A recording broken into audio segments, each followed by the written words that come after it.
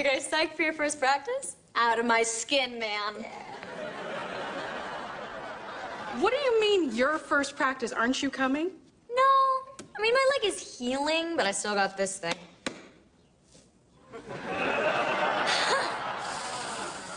I'm cool. Besides, I mean, there's plenty of other things for me to do, so.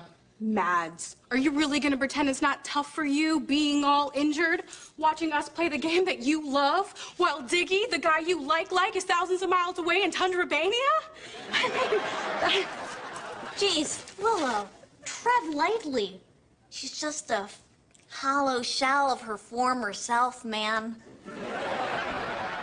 I'm gonna make a basket in your honor. Okay.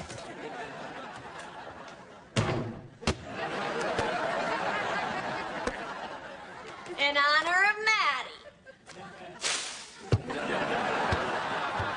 Making it for Maddie. Don't take it personally. I just stink. Guys, it's okay. I'm totally fine. I mean, the universe is just obviously telling me to explore the things that I love that are not basketball, so. that's the Maddie we know. Yeah. What are those things? Well, you know, there's all this stuff that I like, that I, um, uh, I, I do the thing that you all have seen me do. Oh, on Sundays, I always meet with. Wow. Hollow shell. I called it, man.